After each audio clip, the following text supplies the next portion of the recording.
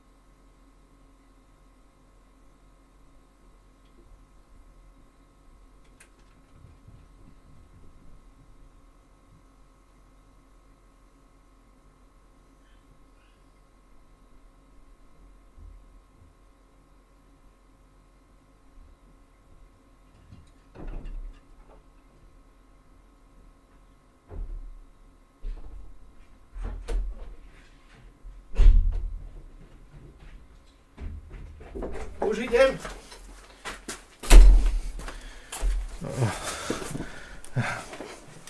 Poštári. No, takže sme tu a ideme na to. Prečo Putinovi nevypnú internet? To je zásadná otázka, ktorú málo kto riešil a ktorej sa treba venovať, aby sme ľuďom vysvetlili a pochopili, aký je rozdiel medzi politikou a technológiou. No dobre, vydýcham sa rýchlo a ideme Pozrime si najprv, kým ja sa vydýcham, takú zaujímavosť, keď bol teraz Putin najbližšie, ja video preberiem z, z iného kanála teraz, ja krásne vysvetlil, kto je v skutočnosti Zelenský. Málo kedy niečo krajšie uvidíte. Mnohí ste to už možno videli, ale pre tých, čo nevideli, to treba pustiť. Sekundu, vydržte.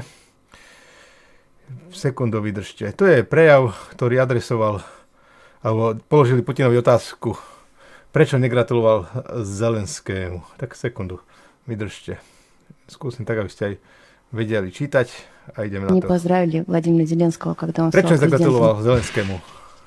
Вы понимаете, ведь до сих пор продолжает определенную риторику, называть нас врагами, агрессорами. Он как-то должен определиться, чего он хочет добиться, чего он хочет сделать. Вот. Мы не отказываемся от контактов, будем работать. с ним. Да, потому что вы Oni sa nebránia kontaktu, pra- pracujú s nimi. A ja tu pekne vysvetlí, že vlastne aký je rozdiel medzi vladárom a hercom. Lebo herec vie byť v jednej situácii kráľ, o 10 minút vie hrať žobraka, o 20 minút vie hrať učiteľa v škole, o pol hodiny ďalej verného manžela a o stotine sekundy dokonca neverníka. Hej, to je he- poslanie herca. Hej, a tu uvidíte, jak vysvetľuje Putin pekne rozdiel medzi hercom a vladárom. президент огромной державы. Он- на сегодняшний день он очень любим тоже в своей стране. Пришел с огромным рейтингом. У вас нету истории отношений. Один маленький жест может полностью поменять ход событий. Вы же это знаете, Владимир Владимирович. Почему бы не встретиться с ним вот без условий? А я что, разве отказывался, что ли? Мне никто не предлагал. Ну, вы готовы с ним встретиться? Послушайте меня. Я не знаю этого человека. Надеюсь, мы когда-нибудь познакомимся. Судя по всему, он хороший специалист в той области, в которой до сих пор работал, он хороший актер. Ну, я- Dobrý herec. Я говорю серьезно, а он смеется. Но одно дело кого-то играть, а другое дело быть кем-то. Presne. Jedna vec je niekoho hrať a druhá vec je niekým byť. Для того, чтобы играть, нужен талант. Это точно. И один из этих много талантов. Один из этих талантов – это талант перевоплощения.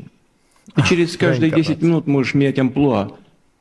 Принц и нищий. Через каждые 10 минут. И, и там, и там надо быть убедительным. А для того, чтобы заниматься государственными делами, другие качества.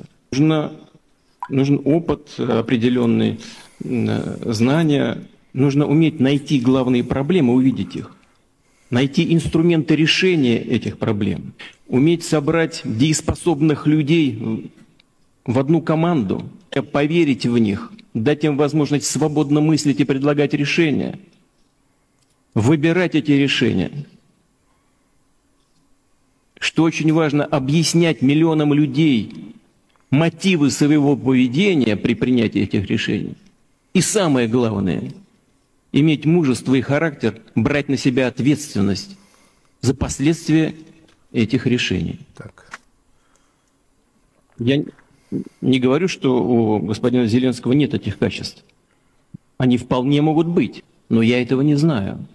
Он пока себя никак не проявил. А то, что мы видим, мы видим э, противоречивые высказывания. В ходе предвыборной кампании одно, после выборов другое. А, ну. Поживем, увидим, посмотрим. Посмотрим, povidím. Pekne, krásne to povedal pán Putin. Jedno je niekoho hrať, druhé je v skutočnosti niekým byť. Hej. Talent reinkarnácie do rol, to je najľahšie, to sa dá, keď ste dobrý herec. Hej. Ale mať odvahu zobrať riešenia, vysvetliť, dať ľuďom, to všetko som povedal, hej, poverenia, to, toto je už umenie, hej. A jak dobre povedal na konci s tým tajúplným úsmevom. My nič nehovoríme, on možno tieto schopnosti má. Ale ešte sme ich nevideli. Alebo možno ich raz uvidíme. Čo ja si myslím, že neuvidíme, lebo... No dobre, krásny prejav, úžasné niečo. To je... To sú... Tam vidíte, tu jak presne to píše, tam nevyžaruje z tváre zloba, hej, agresia nejaká primitívna, hej.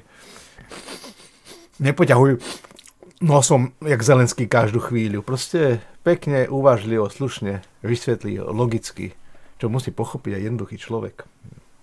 Takže to som chcel povedať, lebo následne ideme až v druhej časti relácie sa dostaneme k tomu, prečo mu nevypnú internet. Niekto hovorí, že preto mu nevypnú, lebo platí faktúry. No tak to by bolo najmenej. Ale logiku uvidíte za chvíľu. Poďme sa teda pozrieť na tom, čo sa tu stalo. Viete, že teraz sme darovali tie migy, no oni nám dali akože 200 miliónov uh, eur, dolárov a dostali sme zľavu všetko. Takto zo Slovenska posledný raz odhľadali stíhačky. Hej. Sulik tvrdil, že to sú nefunkčné, šrot, všetko. Nakoniec prišli a takto odleteli. Tuto. Ja to vypnem hudbu, aby ne. To takto prišli. To bolo minulý týždeň, myslím. Ponastupovali ukrajinskí stíhačkári do, do letadiel a odleteli na Ukrajinu. Takto letoschopné a bojaschopné pripravené stíhačky sme dali za 200 miliónov len tak šmahom ruky na Ukrajinu. Hej, to je 4 e, z 12 či 13 kusov, pozrite sa. Na, prišli, naštartovali, odleteli. Hej. No a je to, mnohí to viete, je to mnoho kritizovaná kauza. Ja súhlasím s tým, že vôbec to nebolo treba dávať. Hej. Ale proste to je problém všetkých týchto vlád, ktoré tu sú, že postupne to zdegenerovalo na totálnu výhovievavosť alebo zhovievavosť, že niekto im dá noty a oni všetko odsúhlasia. No takže takto sme dali minulý týždeň, alebo teraz pred 5 dňami MIGI. Hm. Dokonca tu je taká reportáž, si pozrime, hej, aby, si, aby sme si pripomenuli. Aby sme si pripomenuli. A hneď si pozrieme, lebo prišla vynimočná osoba v úvodzovkách i nám poďakovať do parlamentu. Sekundu toto nech. Zase nemám ten adblock, prepačte, ako, ako blokovač reklam.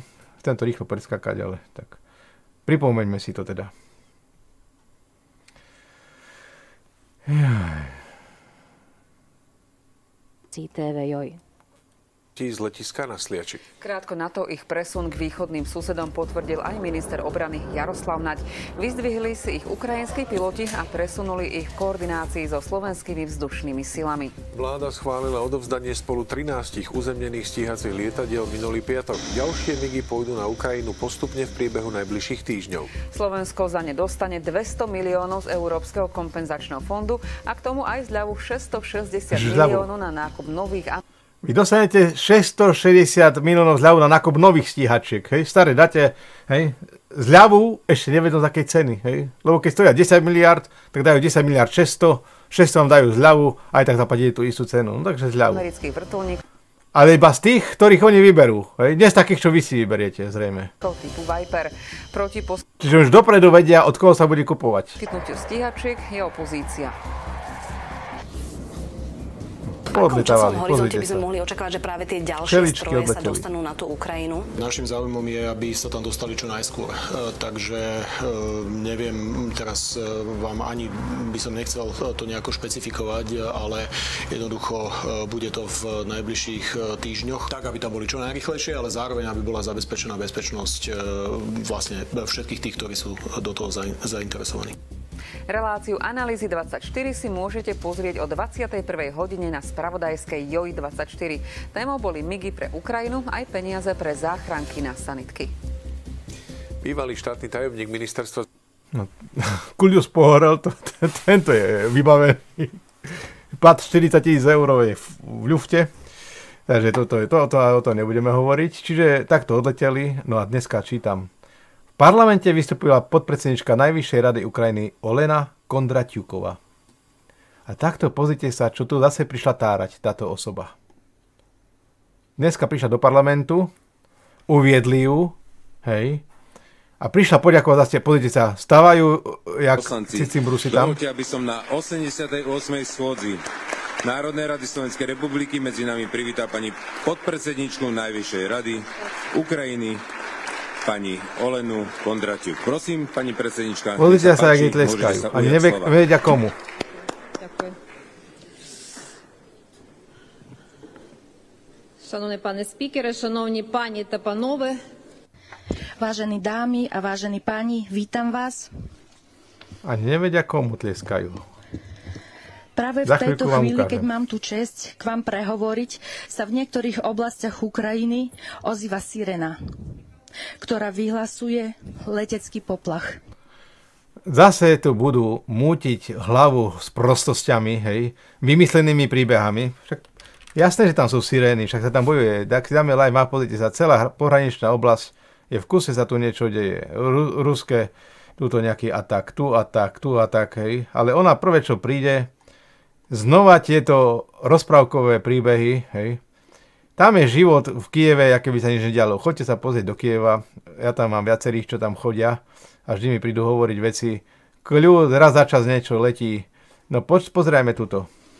To znamená, že podniky, obchody a banky zatvárajú a prerušujú svoju prácu. Ško- školáci a deti v materských školách schádzajú do m, protileteckých krytov a tam pokračujú. Sa stavím, že nejaká z tých jednoduchších poslankyň aj slzo vyronila, keď počúvala tie, tie reči, taká tabaková. Od 24.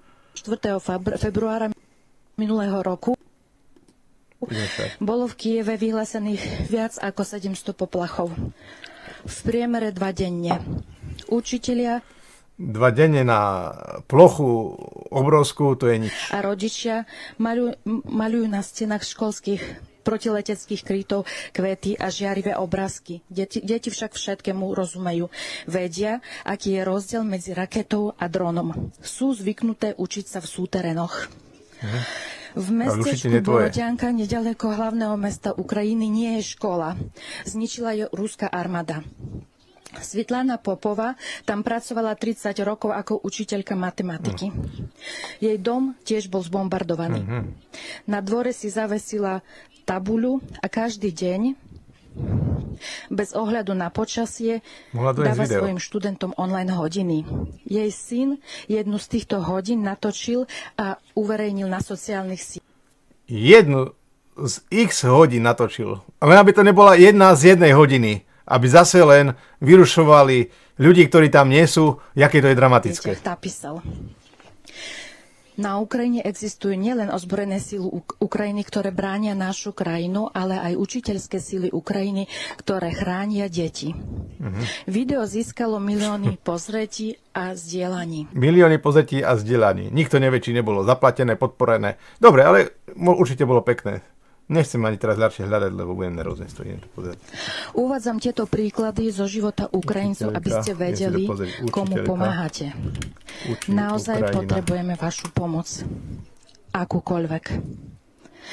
Sme vďační za celý objem humanitárnej pomoci, zbraní a vybavenia, ktoré Slovensko poskytlo Ukrajine. Ešte raz ďakujem. Maria Rinčaková pracuje ako vedúca pôrodná sestra v perinatologickom centre v Chárkove. Toto je miliónové mesto, nachádza sa 40 kilometrov od ruských hraníc. Keď sa začalo bombardovanie, Mária zostala v práci, pretože ju nemal kto zastúpiť. Jej kolegovia sa nemohli dostať do centra mesta a ženy rodili. Mária zorganizovala pôrodnicu v súterene a neskôr zistila, že sa nemá kam vrátiť. Jej byt bol tiež zničený. Mária žije v práci už viac ako rok. Uh-huh. Oblohu nad Charkovom už chránia štyri stíhačky, ktoré Slovensko práve darovalo Ukrajine. Myslím si, že keby mala Stiačky. doktorka Mária príležitosť, veľmi úprimne by sa vám za toto rozhodnutie poďakovala. Ano. Ona vie, že stíhačky prišli do Slovenska. V mene všetkých Ukrajincov, ktorých životy chráni uh-huh. letectvo, uh-huh. veľké ďakujem vám. Dobre, to akceptujeme. Ja by som tiež poďakoval, keby nám tu dačo donesli, lenže tu že všetko berú. Jevhen Kompanec z mesta Čerkasy už hm? viac ako 10 rokov priputaný na invalidný vozík. No, dramatické príbehy, hej. To napíše na papier samozrejme, vyberú 5 príbehov, aby sa ľudia rozplakali. Deň robí no. pyrohy, no. pečie palacinky, no, varí lekvar a posiela ich na front. Hmm. Hmotnosť odoslaných potravín sa ráta už na tony. Hmm. Obyčajní ľudia na Ukrajine robia neskutočné veci. Hmm. Táto tam bol ten vojak z Čech cvičiť e, a bol šokovaný, že v minerálke si vojaci umývajú topanky, že je tam tak prebytok potravín, čo tam Západ posiela, že ich e, dávajú pomaly sviniam žrať. Tam je prebytky, tam sú obrovské prebytky potravín všetkého. Tu nám vy, vyberá dramatické príbehy. Hej? Vojna no, počujeme. Nie je za územie.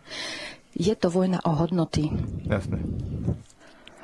Ukrajina nie je cieľom zločincov. Cieľom mm. vojny je zničiť demokracie Aha. založené na všeobecnom volebnom práve, slobode mm. slova, podnikanie.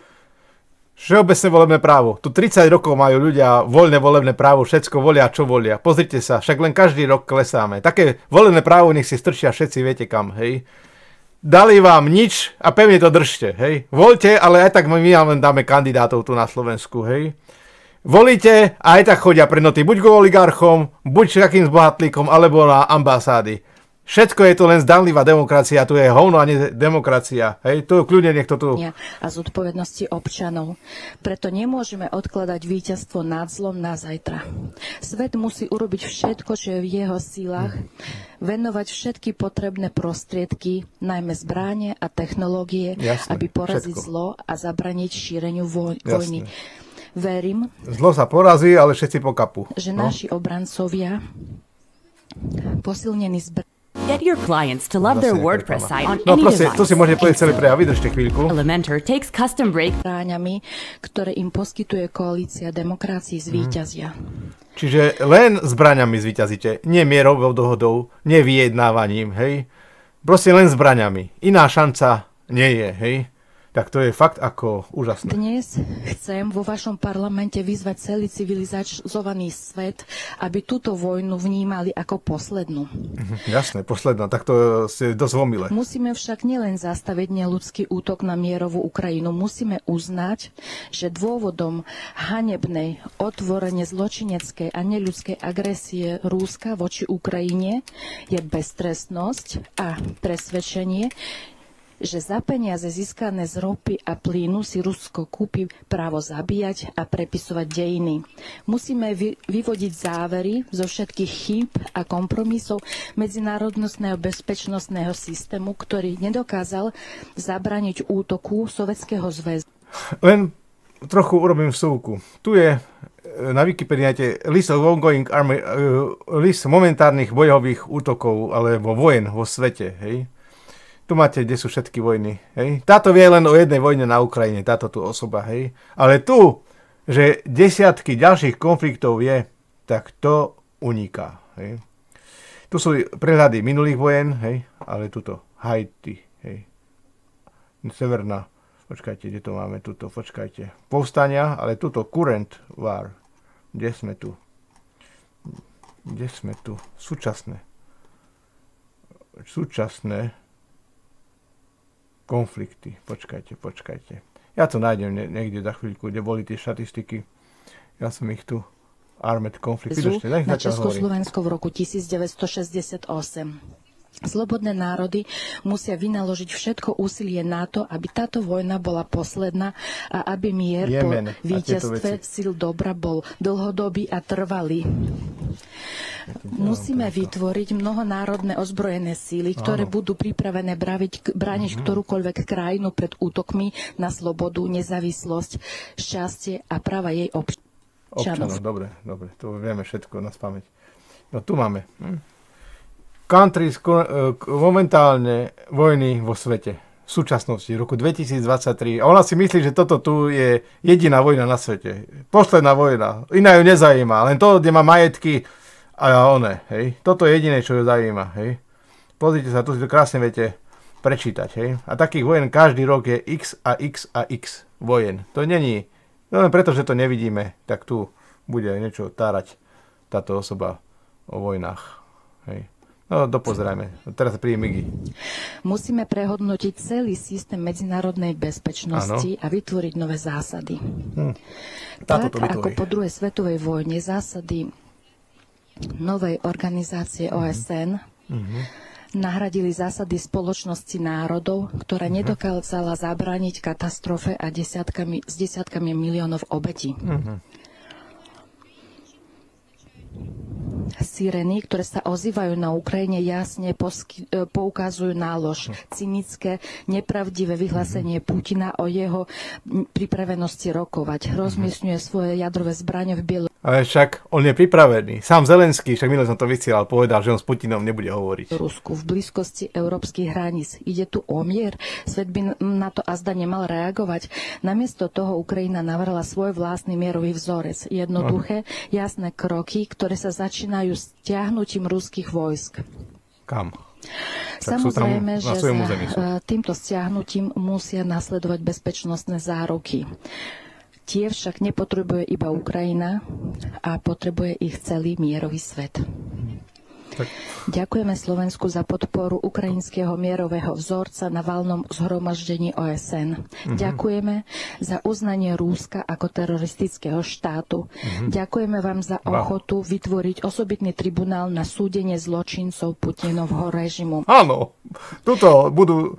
Kliment možno bude sedieť v Senáte. Hej, a, a, a, a Lipšic bude prokurátor, Ďakujeme ne? za podporu vstupu Ukrajiny do Európskej únie a bude o tom písať, NATO. Mirka. Sme na to pripravení, pretože naši obrancovia bráňa nielen našu vlast, uh-huh. ale bráňa celú Európu. A naše ozbrojené síly sú najskúsenejšou armádou v Európskej únii, čo len zvýši odolnosť armády NATO. Moja osobitná vďaka patrí Národnej rade za prijatie návrhu uznesenia o návrate nasilne deportovaných ukrajinských detí. Uh-huh. Na túto vojnu sa agresor pripravoval už dlhší čas. Uh-huh. V jeho chorej mysli sa unos detí osobit, má osobitné miesto. 19 514 ukrajinských detí nasilne premiesnených do Ruska. To sú aktuálne oficiálne tak oni to tam možno išli bombardovať, chceli ich zachrániť od bombardovania, stiahli ich na ruské územie a oni to budú uh, únos a všetko. Však dobre, nech sa to vyšetrí. Ale potom sa vraťme, jak bol ten Sir Winston a toto, jak, jak e, židovské deti premiestňoval do Anglicka a tak ďalej pred vojnou, hej. Tak niekto to hodnotí z určitého, aj tedy možno by to uh, hovorili, že únosca, hej. A nakoniec to bol záchranca, hej. No dobre. Údaje. Deti odobraté rodičom. Od, oddelení súrodenci, síroty mm. a deti so špeciálnymi potrebami, ktoré boli podlo vyvezené z detských domovov. Wow. Volodymyr Sahajdák žije na juhu Ukrajiny nedaleko vojenského letiska Čornobajevka, o ktorom ste mohli počuť v správach. No, príbehy, príbehy dramatické o unesených deťoch. Pamätáte si, jak vyšlo na javo, ombudsmanka klamala klamala o znásilneniach. Som sa robil o tom aj video o znásilneniach. Ruská ombudsmanka, vlastne ukrajinská, klamala, ombudsmanka klamala. Hm. News ombuds, ombudsmanka klamala o znásilne ňach. Kde to je, kurník? Google urobil nejaký nový algoritmus, pardon dáme to takto. Klamala o znásilneniach. V kuse klamu, hej. Klamala o zná... násilneniach. No, tuto je, počkajte. Klamali, a Ukrajinci klamali o znásilneniach. Keď robili vtedy rucho, viceprezidentka Spojených štátov, počkajte, tuto, kde to, kde to hovorili, Ukrajina, dáme takto.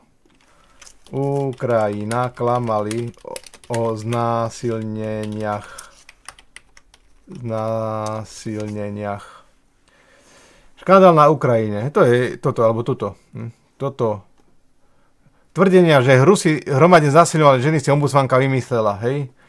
Dokonca to prednášala na pôde ombudsmanka pre ľudské práva Denisová tvrdila, že Rusi na Ukrajine hromadne zasilňovali ukrajinské ženy. Takisto chodila jak táto a po svete hlasala, že poste nám na Ukrajinu, Rusi nás znásilňujú, unašajú deti a nakoniec sa ukázalo všetko ako klamstvo. Dokonca sa priznala k tomu, hej, e, neboli podložené ničím a zbytočne odvádzali pozornosť svetových médií od skutočných potreb Ukrajiny, tieto klamstvá, ktoré pre, prezentovala. Hej, v rozhodovaní pre ukrajinský server Denisova uvidla, že Informácie o znasileniach, ktoré šírila, slúžili aj na to, aby jej vlast získala väčšiu vojenskú pomoc. Skutočne som možno niektoré tvrdenia o znasilení zveličila, povedala sama. Hej, a vidíte, nič sa nedeje. Poslanec ukrajinského parlamentu Pavlov, Pavlov, Pavlov, počkajte, tuto vám to hneď ukážem. Počkajte. Uh, Pavlov, uh, for, Pavlo Forlov obvinil Denisovu zo šírenia deformácií, ktoré uškodili Ukrajine. Hej? No čiže tak isto, jak táto, všetci tam zrejme v kuse klamu. Aj táto tu. Vedie rehabilitačné stredisko pre deti so špeciálnymi potrebami. Dokumenty no. svoje síly, aby sa Príde, prečíta, napapká sa a ide ďalej. No. Počas trvania rozsiahlej vojny Slovensko poskytlo útočisko 38,5 tisícom ukrajinských detí, ktorí mali možnosť no, študovať. Takže tu ich neuniesli. Tu ich donesli, tu nebudú súdení za unašanie detí na Slovensko. Tam, keď ich Putin išiel pomôcť, tak je únosca. Tam 19 tisíc do Ruska, na Slovensko 38 500. Učiť sa v slovenských školách a škôlkach. Celkovo je to 110 tisíc Ukrajincov. Veľmi vám za to ďakujeme. No. Osobne a osobitne ďakujem kolegyne poslankyne Martine Brisudovej.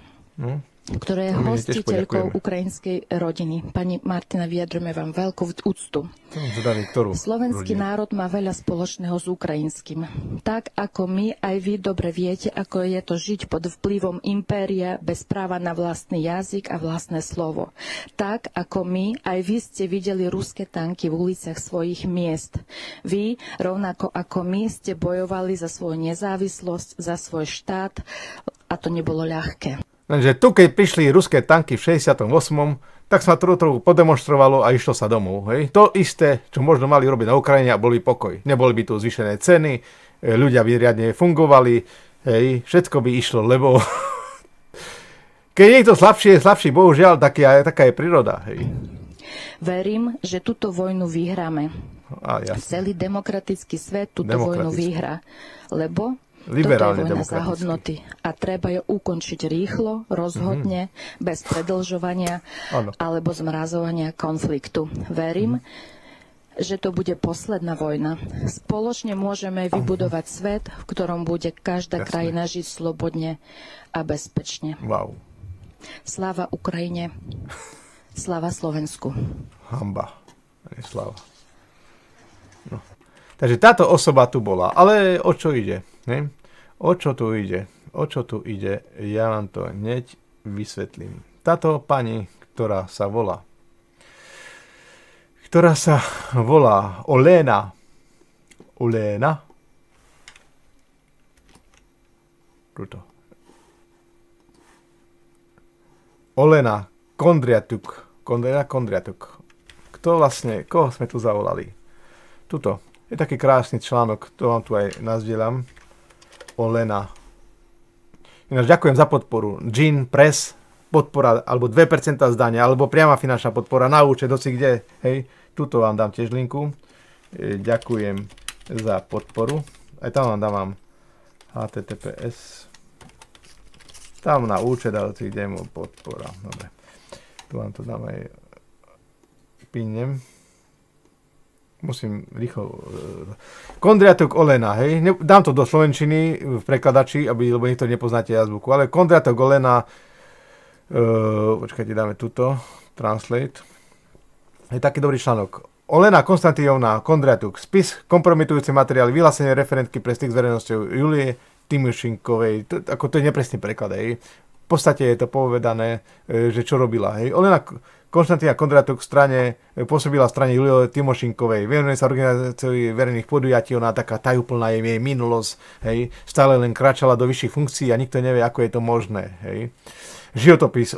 Olena Konštantínovna Kondratuk sa narodila 17. novembra Škorpionka v 70. roku v meste Lvov. Získala diplom a tak ďalej. Hej. Rodina. O, manžel Aleksandr Andriuvič Bogucký. Narodil sa v 71. roku tiež vo Lvove. Vyštudoval fakultu a tak ďalej. Je známym manžel, producentom a televíznym manažérom tuto.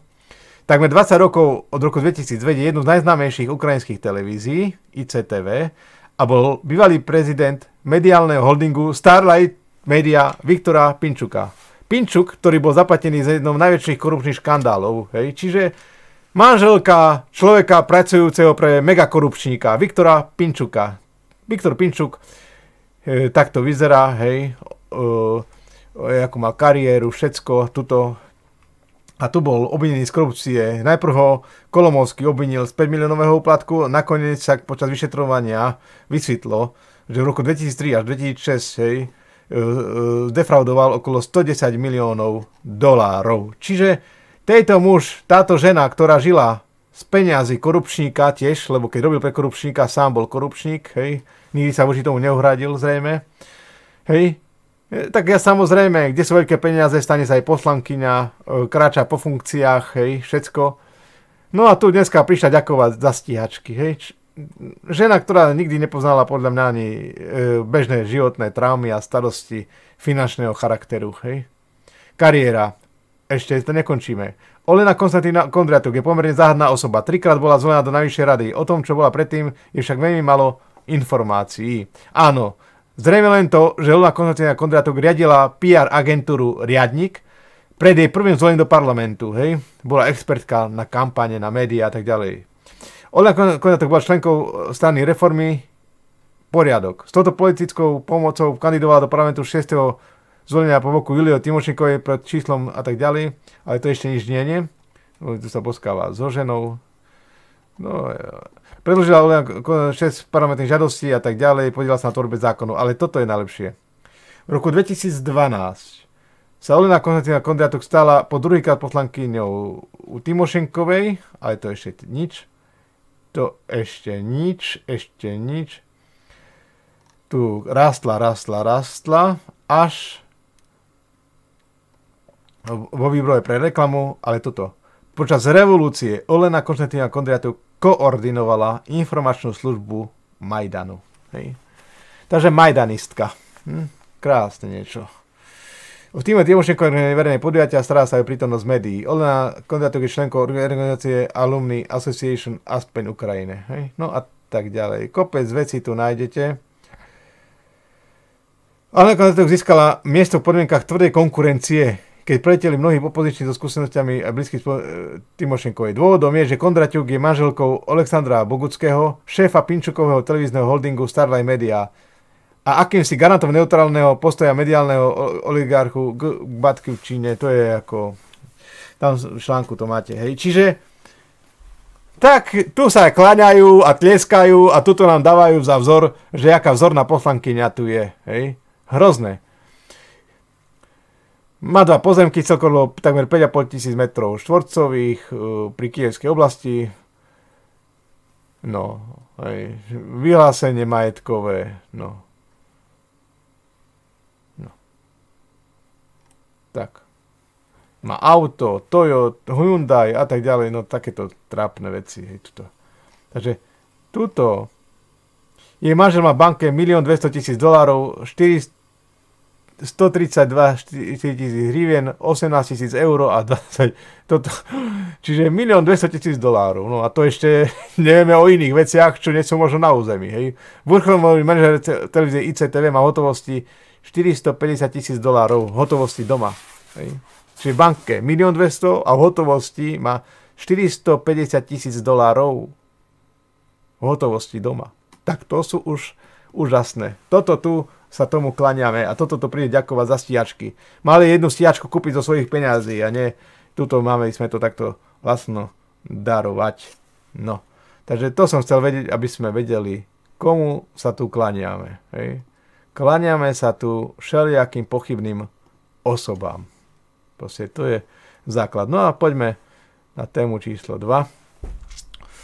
Takže manažer, pán Pinčuk. No, takže, prečo Putinovi nevypneme internet? Keď si pamätáte, toto je druhá téma dnešnej, dnešného. Keď dáte Putin internet do, do Google, no,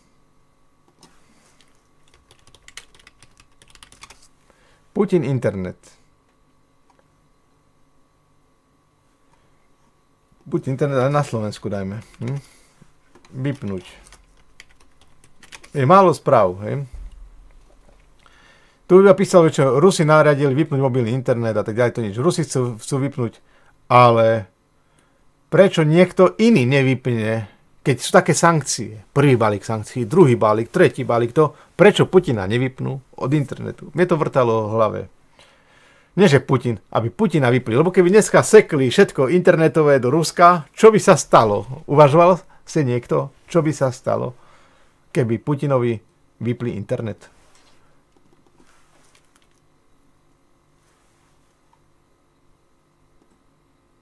Pozrite sa, dokonca tu som našiel článok. Putin dobre vie, že podmorské káble sú achilou petou západu. No.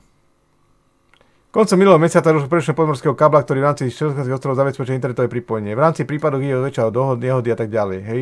Iba hrstka ľudí si uvedomuje, ako veľmi závisí od obmedzeného počtu optických káblov. Podmorské káble súčasne zabezpečujú prenos až 95% medzinárodnej internetovej konektivity.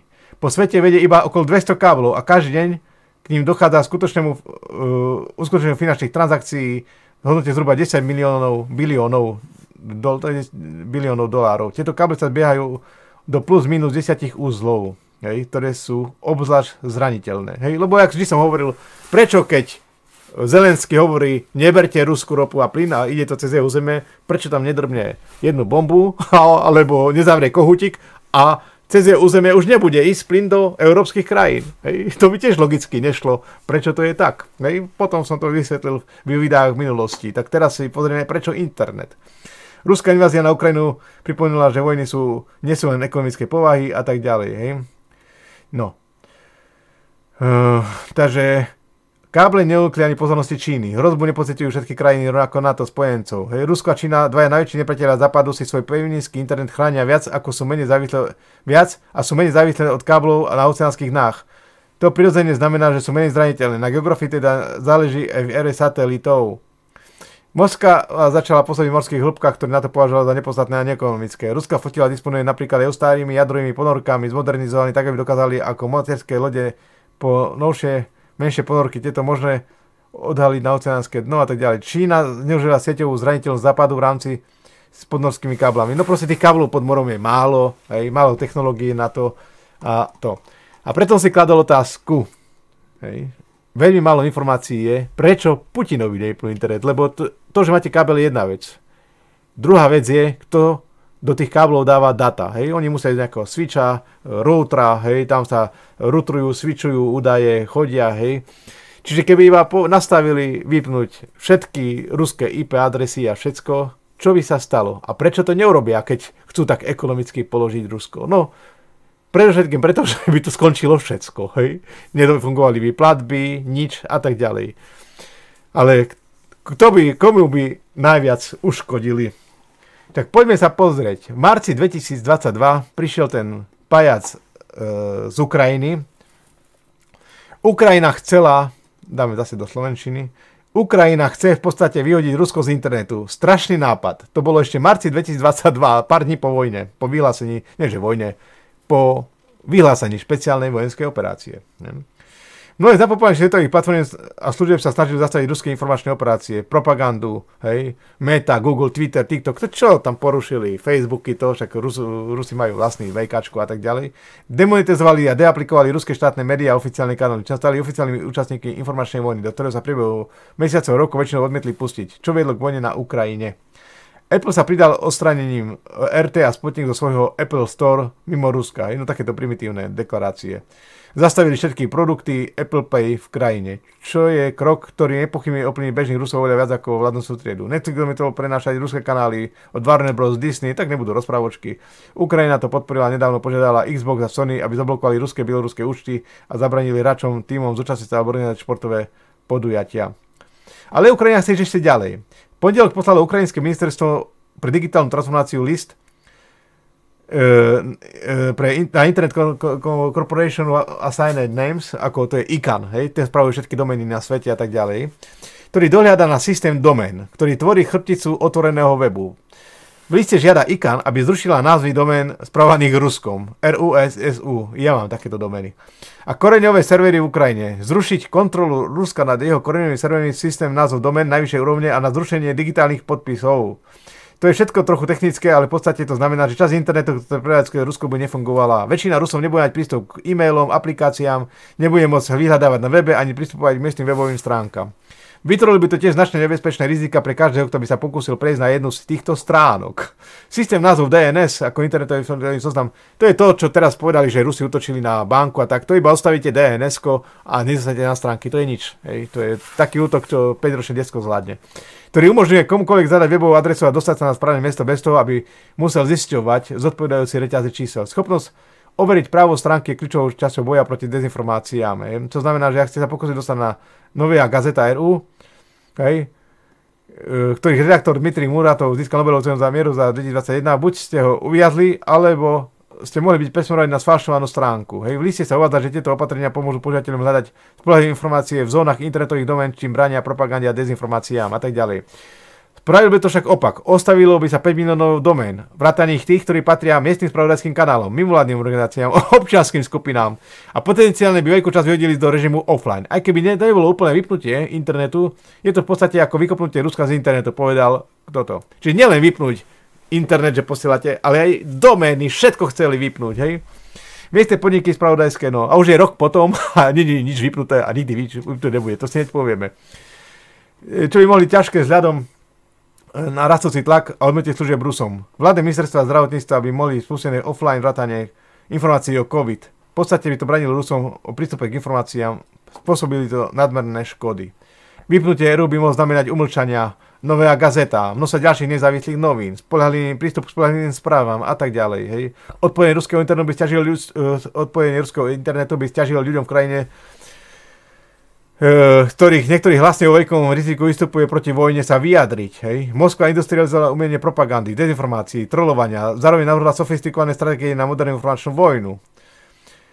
Ak by IKAN vyťahol zastrčku internetu v Egypte alebo Syrii, čo by sa stalo s povstaniami v arabskej jari a schopnosťou reformátorov na mieste pôsobiť profi- oficiálnemu príbehu? IKAN zamietla žiadosť ukrajinského predsedu vlády, podpredsedu vlády, v stredajšom liste, v ktorom napísala, že ako nezávislá technická, nepolitická, technická organizácia ICANN by bola vybudovaná na tom, bola vybudovaná na tom, aby zabezpečila fungovanie internetu a nie na to, aby sa jeho koordinačná úloha použila na zastavenie jeho fungovania. Prezident a generálny riaditeľ Goran Marvy povedal, že ICANN nemá možnosť zrušiť bezpečnostné certifikáty a že takýto zásah do systému dome najvyššej úrovne s kodom krajiny by mal zničujúce a trvalé účinky na dôveru a užitočnosť tohto globálneho systému. Proste internet bol vytvorený pre každého. Dneska už je to jak vzduch, alebo sa stáva ako vzduch ako niečo nevyhnutné, ako súčasť vášho bytia, života, hej. Proste to sa, toto vypne, to je, by vám zobral už život, proste, hej. To je pokrok, technika, hej. Jak, jak to nazvať. Splnenie požiadavky Ukrajiny by tiež vytvoril nebezpečný precedens, ktorý by mohol viesť nenapraviteľnej fragmentácie globálneho internetu a ešte viac by uplnil ruské úsilie o vytvorenie národného internetu pod názvom Runet, ktorý, na ktorom pracujú.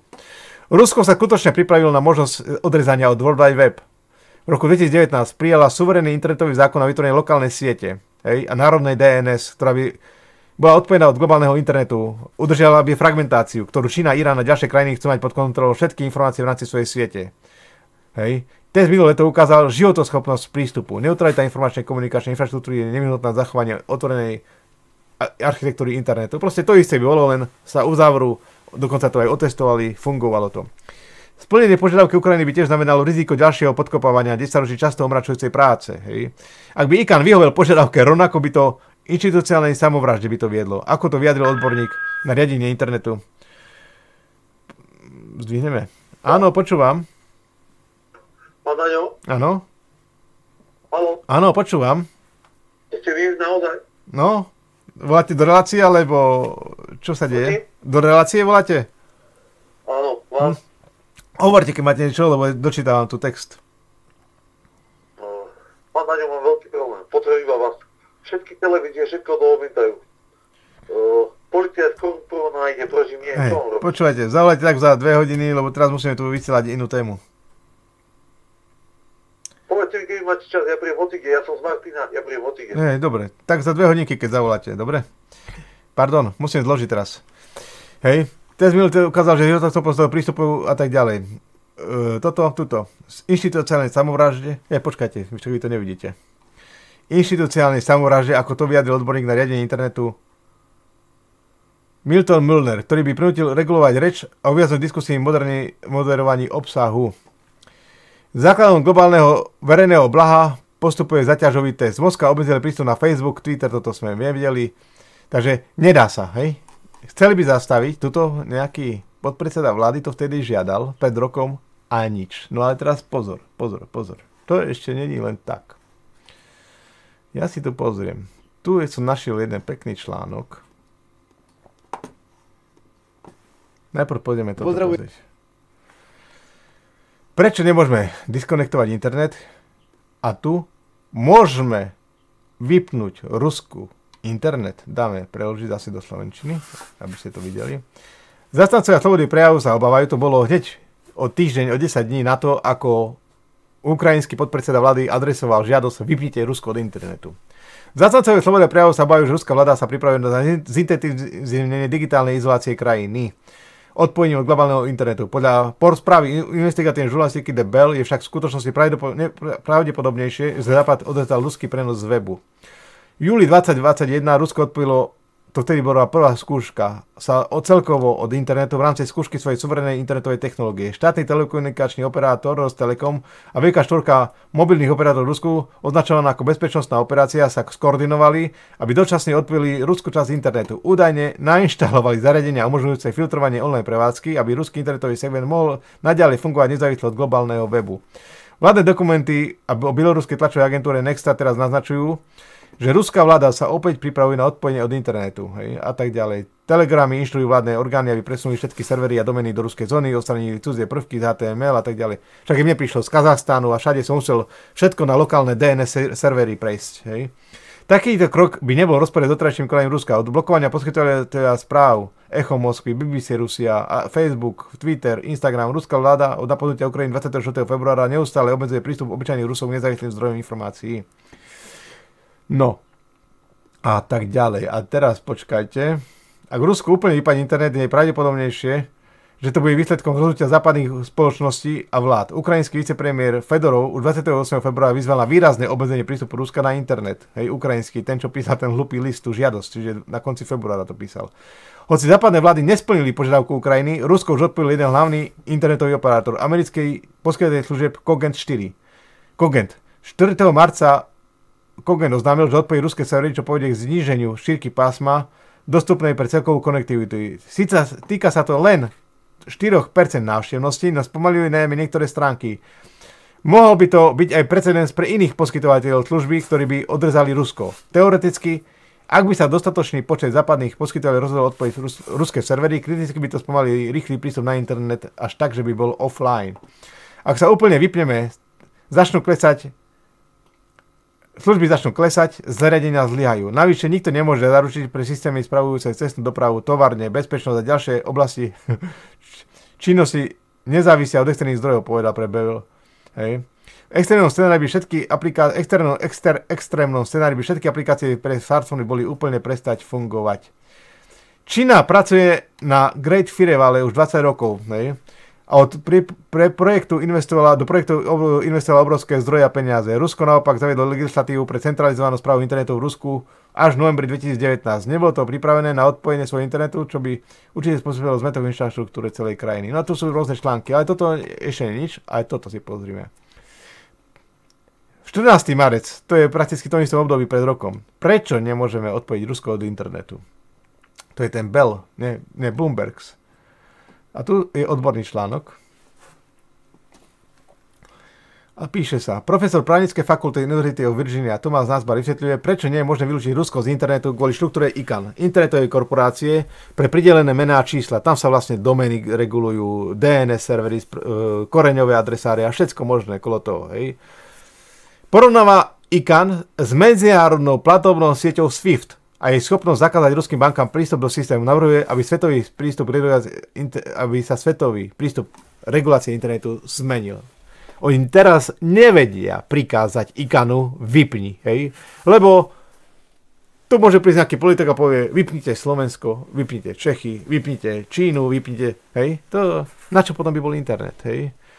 hej? Potom by viac väčšie snahy bolo, aby každá krajina si robila vlastné riešenia a tak ďalej, čo není vylúčené, hej, hlavne tých, kde sú také ako Rusko, Čína a to.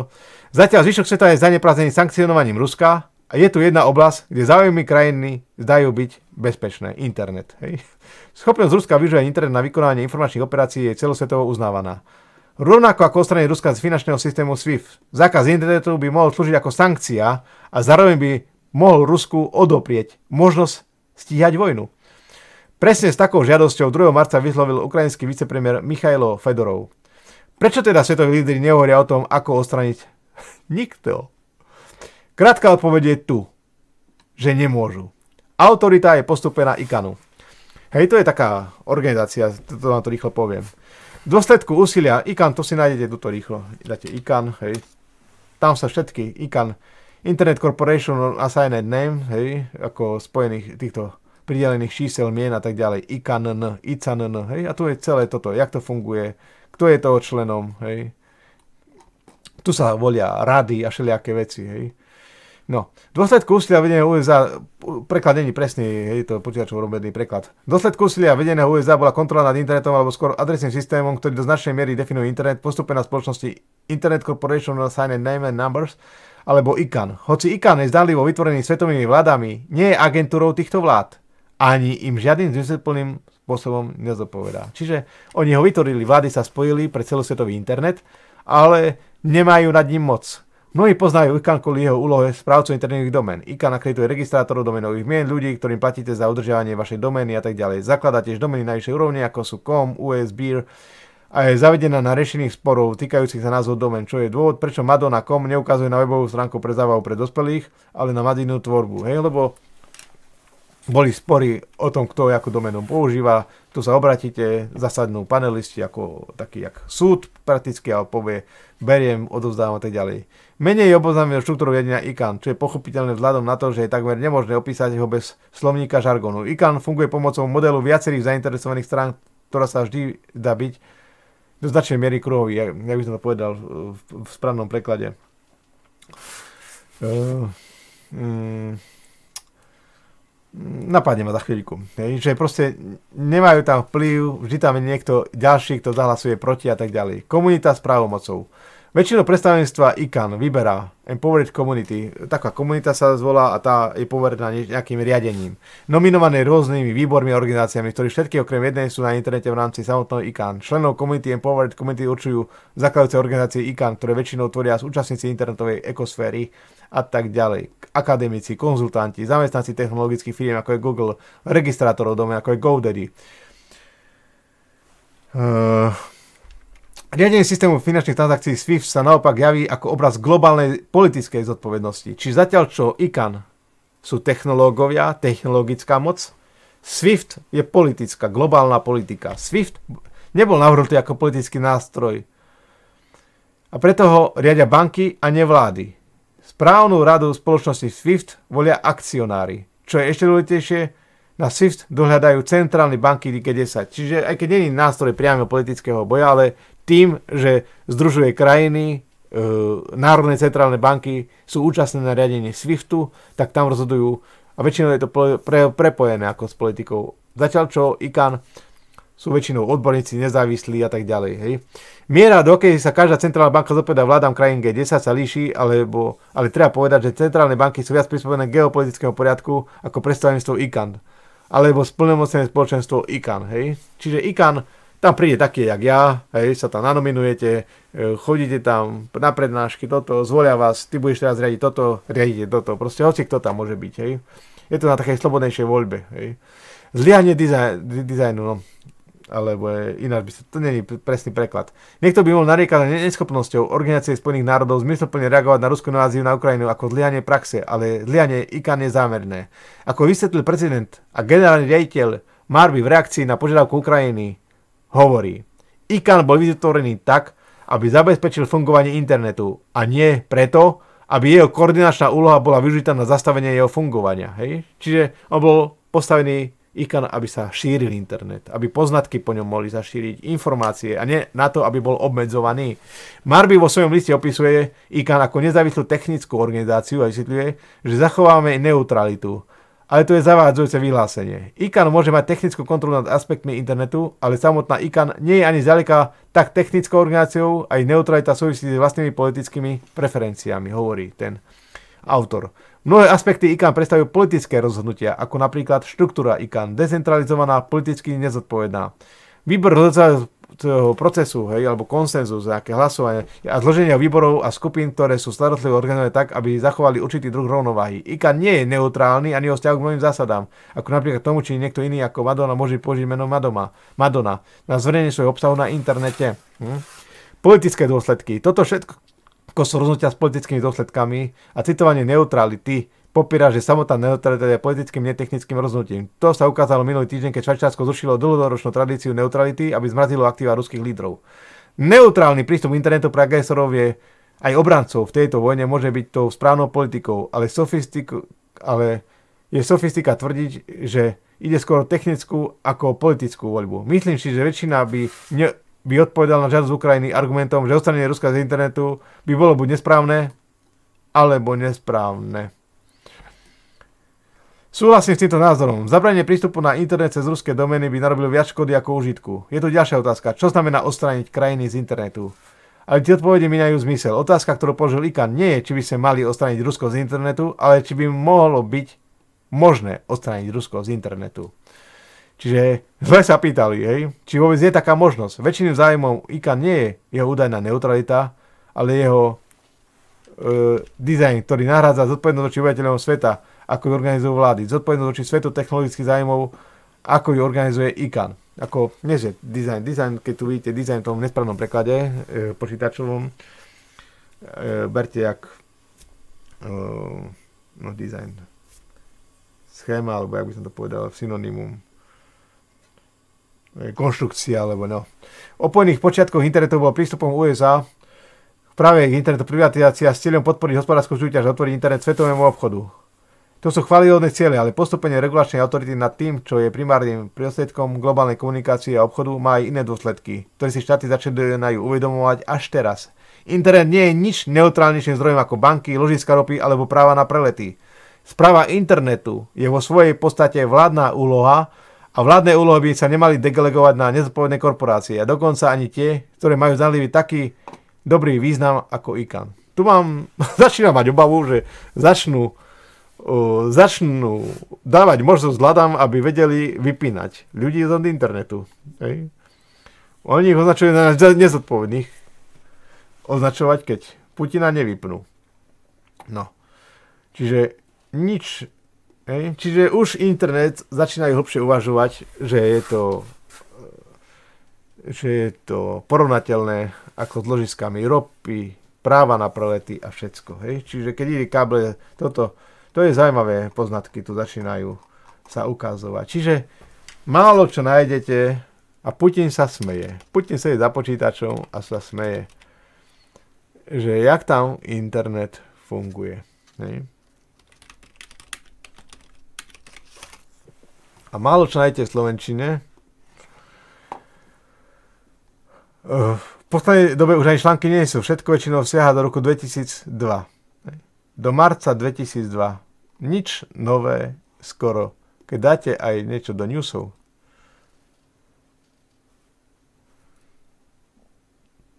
zase sa tu niečo spomína o, o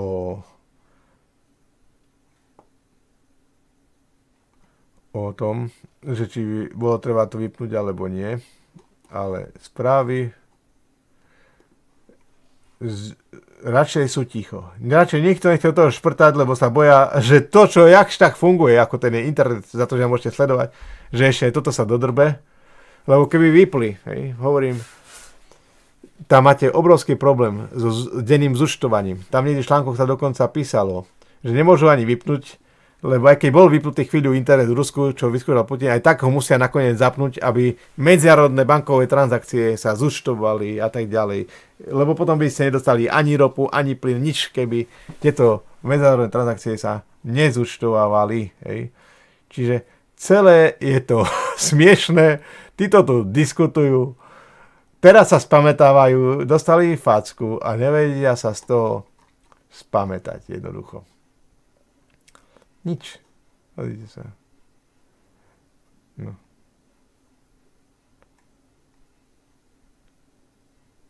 Hm. No, minimum, minimum, minimum informácií, hej. Internet Internet shutdown. No. Roša, nič. Minimum informácií. Preto mi píše na Infogym Press, čo si myslíte, čo si myslíte o tom, že prečo Putina nevypnú z internetu. Títo všetci chytráci, čo tu všelijaké sankcie. To je taký nezmysel, e, e, že, že až... Hm. No. Takže tak.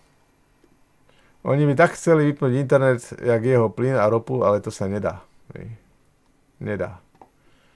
Takže on je zabeštelovaný na každú stranu, na každú vec. Toto som chcel povedať, nebudem to ďalej naťahovať, idem pracovať. A ešte tu, počkajte, áno, toto je nič, Ukrajinci. Dobre, to je všetko asi, čo som chcel. Pozriem, či ešte niečo tu máte. Dobre, nič. Všetko, pozdravujem vás, hej, ešte raz. Ďakujeme za podporu. Tuto ešte ukážem, keď pôjdete na na www Gympress, dáte 2% zdanie. Tu sú údaje Gene, hej, ičo, adresa, hej, toto na treba vypísať, alebo tuto máte na pre 2% zdanie. Hej. Že nám to poukážete. Ja týmto pádom ďakujem. Tu keď chcete nás podporiť, hej, tu dáte online platba. Tu vás prepojiť s bankou, vízou alebo čím. Prípadne keď chcete priame bankové účty, tak tam niekde nájdete aj účty. Priamo na naše účty sú tu. Takže tak. To som chcel iba ukázať, že aké je to všetko smiešne. Smiešne. Ja počkajte, zase som to neukazoval. Ešte raz. Musím sa viac pozerať tu napriamu, hej. Čiže tak, túto na džín, darujte 2% zdanie. Takto. Hej. No, nič. Nič. Všetko, všetko iba správy z minulého roka. Takže žiadny internet sa tu vypínať nebude. Nič. Nula. Tak.